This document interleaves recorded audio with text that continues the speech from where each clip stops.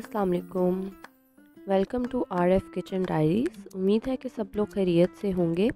आज हम जो रेसिपी बनाने जा रहे हैं, बहुत ही टेस्टी और बहुत ही आसानी से बनने वाले कपकेक्स हम बनाने जा रहे हैं मोका कपकेक्स बहुत ही इजी रेसिपी है। आप देखेंगे कि अंदर से कितने सॉफ्ट और गुई कपकेक्स बनेंगे। और साथ ही हम इस पर करेंगे क्रीम फ्रोस्टिंग चॉकलेट और कॉफ़ी फ्लेवर में। तो वीडियो को एंड तक देखिएगा चैनल को सब्सक्राइब कर दें बेल आइकन पे क्लिक कर दें। ताकि आने वाली हर नई वीडियो का नोटिफिकेशन आपको मिलता रहे।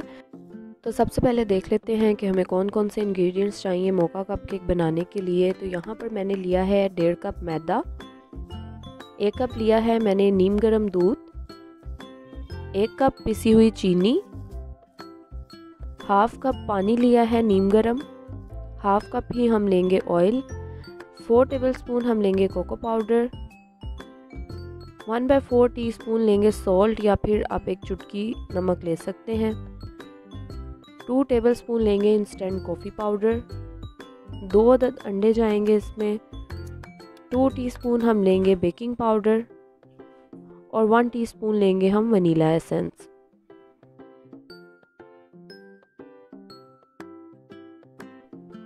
सबसे पहले इस ड्राई इंग्रेडिएंट्स को अच्छी तरह से हम छान लेंगे। ड्राई इंग्रेडिएंट्स में हम सिर्फ़ चार चीज़ें लेंगे, मैदा कोको पाउडर इसके अलावा हम लेंगे सॉल्ट और बेकिंग पाउडर इन चार चीज़ों को हम अच्छी तरह से छानेंगे। कॉफ़ी पाउडर इसमें हम ऐड नहीं करेंगे। तो केक में जब भी आप मैदा यूज़ करें तो आप इसको हमेशा छान कर यूज़ करें। इससे केक स्पॉन्जी और फ्लफ़ी बनता है।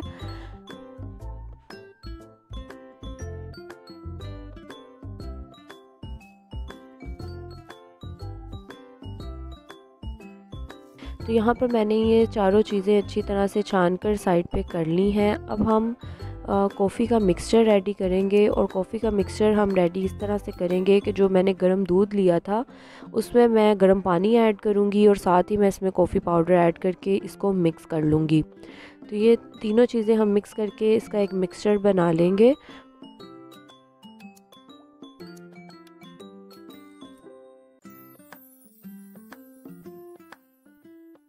तो अब हम बनाते हैं कपकेक्स का मिक्सचर उसके लिए जो दो अंडे हमने लिए थे, वो लेंगे और इनको अच्छी तरह से बीट करेंगे।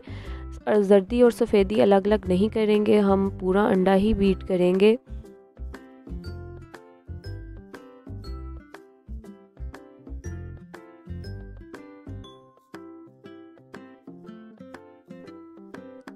अब इस स्टेज पर जब अंडे थोड़े से फोमी हो गए हैं तो इसमें हम ऐड करेंगे वनीला एसेंस और वनीला एसेंस डालकर इसको हम थोड़ा सा और बीट करेंगे ताकि ये अच्छी तरह से इसमें मिक्स हो जाए।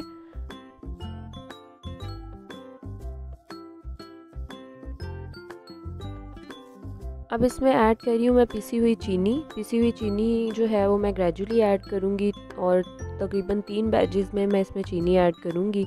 और चीनी ऐड करके हम साथ साथ इसमें इसको हम बीट करते जाएँगे। तो जब आप चीनी डालकर अंडों को बीट करेंगे तो अंडे क्रीमी फॉर्म में आ जाएँगे और इनका कलर जो है वो थोड़ा सा लाइट हो जाएगा।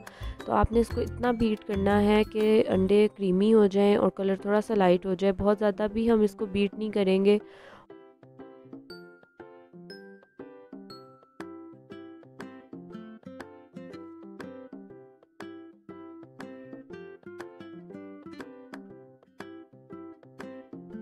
अब इस स्टेज पर इसमें मैं ऐड कर रही हूँ ऑयल जो कि हाफ़ कप ऑयल लिया है हमने और उसको ऐड करके भी हम इसको दोबारा से बीट कर लेंगे।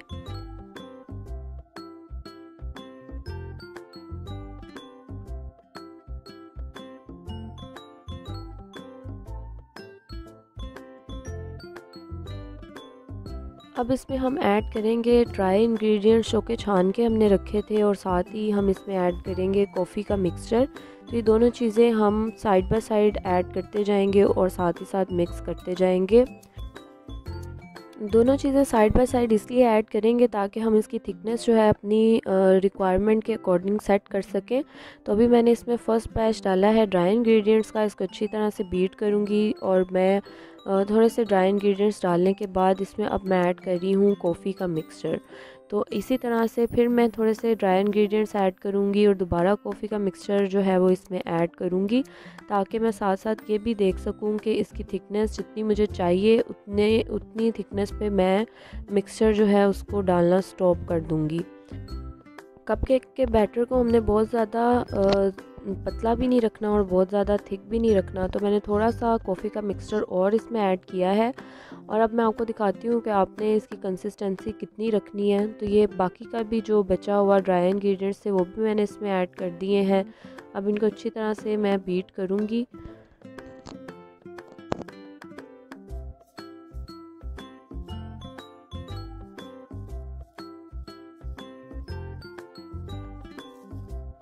तो ये कप केक्स का बैटर हमारा ऑलमोस्ट रेडी है। आप इसकी कंसिस्टेंसी देख सकते हैं कि मैंने इसको बहुत ज़्यादा गाढ़ा भी नहीं रखा और बहुत ज़्यादा पतला भी नहीं किया।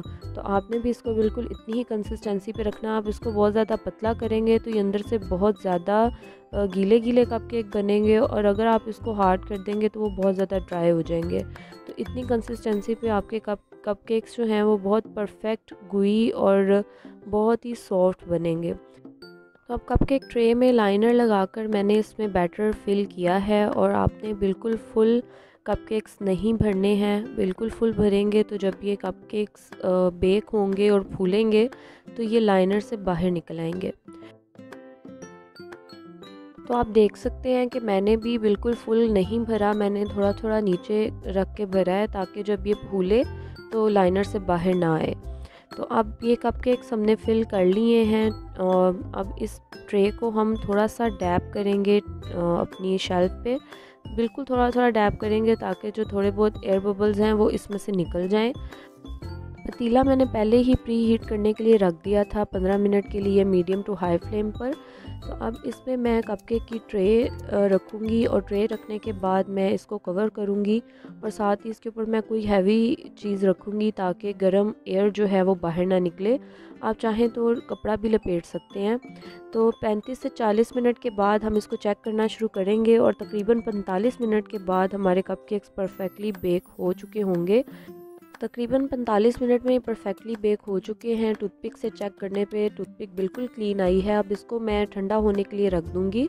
अब फ्रोस्टिंग हम तैयार कर लेते हैं। तो फ्रोस्टिंग के लिए मैंने यहाँ पे ली है एक कप विपिंग क्रीम अब इसमें मैं ऐड करूँगी one teaspoon instant coffee powder या फिर आप एक साशे भी डाल सकते हैं। तो जब तक हम फ्रोस्टिंग रेडी कर रहे हैं कप केक्स भी तब तक फुली ठंडे हो जाएँगे और अच्छी तरह से ठंडे करके ही हम फ्रोस्टिंग करेंगे। गर्म कप केक्स पे हम फ्रोस्टिंग नहीं करेंगे। तो वन टीस्पून मैंने यहाँ पर डाला है इंस्टेंट कॉफ़ी पाउडर और अब मैं इसमें ऐड करूँगी चॉकलेट सिरप चॉकलेट सिरप आप अपने टेस्ट के अकॉर्डिंग डाल सकते हैं कॉफ़ी पाउडर भी अपने टेस्ट के अकॉर्डिंग डाल सकते हैं। मैंने यहाँ पर ऐड किया है one tablespoon chocolate syrup अगर आपको बहुत स्ट्रॉन्ग फ्लेवर पसंद है कॉफ़ी और चॉकलेट का तो आप इसको ज़्यादा भी कर सकते हैं। अब इसको अच्छी तरह से मैं बीट कर लूँगी।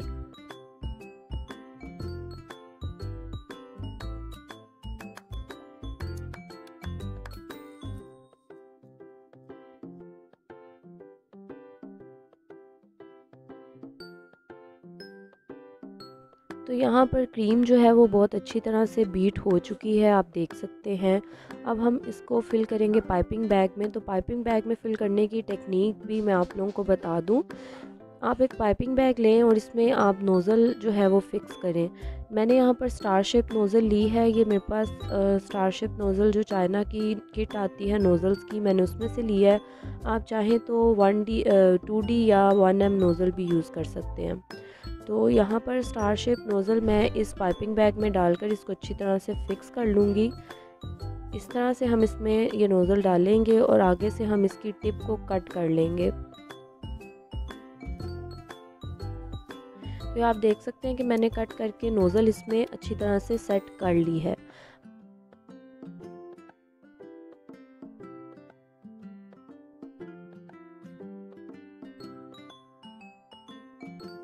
अब इस पाइपिंग बैग को हम साइड पर रखेंगे और एक और पाइपिंग बैग लेंगे जिसमें हम क्रीम फिल करेंगे। तो इसमें क्रीम फिल करने का सबसे आसान तरीका है कि आप एक ग्लास लें और एक ये जो पाइपिंग बैग है इसको इस ग्लास में इस तरह से सेट कर लें। तो जब आप इस इसे ग्लास में सेट कर लेंगे तो आप इसमें बहुत आसानी से फिलिंग कर सकते हैं।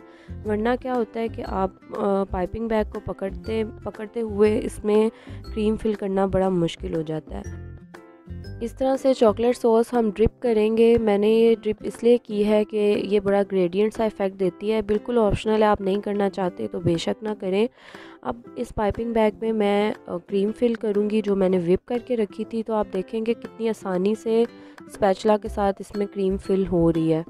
तो इस तरह से आप ग्लास के ऊपर पाइपिंग बैग लगाकर बड़ी आसानी से इसको फिल कर सकते हैं। इसी तरह से मैं जितनी भी क्रीम मैंने विप की है, मैं सारी इस पाइपिंग बैग में फ़िल कर लूँगी।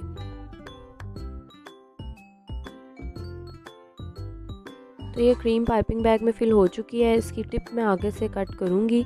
तो इस तरह से मैंने टिप कट कर ली है। अब हम इसको नोज़ल वाले पाइपिंग बैग में शिफ्ट करेंगे। तो मैं इसी तरह से नोज़ल जिस पाइपिंग बैग पे मैंने लगाई थी, उसको भी ग्लास में ऐसे ही सेट करूँगी। और ये जो पाइपिंग बैग जिसमें हमने क्रीम फिल की है, ये ऐसे ही इसमें मैं सेट कर दूँगी।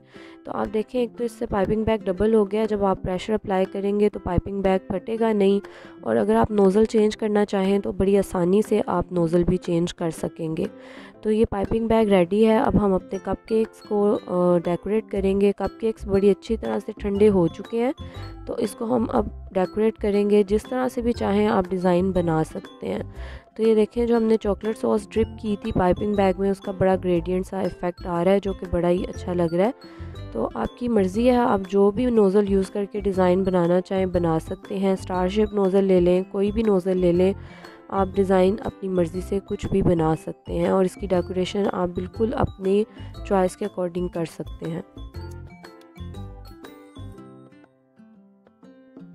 इसी तरह सारे कपकेक्स पे मैं क्रीम लगा लूँगी और फ्रॉस्टिंग करूँगी और बाकी की जो डेकोरेशन है वो भी कर लेंगे। अब मैंने इन कपकेक्स पे चॉकलेट सॉस ड्रिप की है। आप चाहें तो चॉकलेट चिप्स भी लगा सकते हैं। कुछ कपकेक्स पे मैंने चॉकलेट लगाई है चॉकलेट पीसेस लगाए हैं। तो बिल्कुल ये आपकी चॉइस के ऊपर आप जैसे चाहें इसको डेकोरेट कर सकते हैं। जो भी चीज़ आपके पास अवेलेबल हो, आप उसके साथ इसको डेकोरेट कर सकते हैं। आप फ्रोस्टिंग नहीं भी करना चाहें तो सिंपल कपकेक भी आप बनाकर ट्राई कर सकते हैं। तो आप देख सकते हैं कि कप केक्स जो हैं हमारे ऑलमोस्ट रेडी हो चुके हैं। अल्हम्दुलिल्लाह, बहुत ही मज़े के और बहुत ही अच्छे कप केक्स जो हैं वो रेडी हो चुके हैं। अंदर से भी बहुत ही सॉफ्ट और गुई कप केक्स बने थे और जो इसमें कॉफ़ी और चॉकलेट का जो फ्लेवर है वो बहुत ही मज़े का लग रहा था। तो बच्चे और, बच्चों और बड़ों दोनों को ही बहुत पसंद आएँगे तो ज़रूर बनाइएगा, इसको ट्राई करिएगा और फीडबैक दीजिएगा मुझे। आप फीडबैक देने के लिए इंस्टाग्राम पर मुझे फ़ॉलो कर सकते हैं। इंस्टाग्राम का लिंक डिस्क्रिप्शन बॉक्स में मौजूद है। इससे पहले चॉकलेट केक की रेसिपी भी मैं अपने चैनल पे दे चुकी हूँ। उसका लिंक मैं आई बटन पर दे दूँगी तो आप जाकर वो भी देख सकते हैं। रेसिपी पसंद आए तो अपने फ्रेंड्स और फैमिली में ज़रूर शेयर किया करें। के साथ इजाज़त दें। अल्लाह हाफिज़।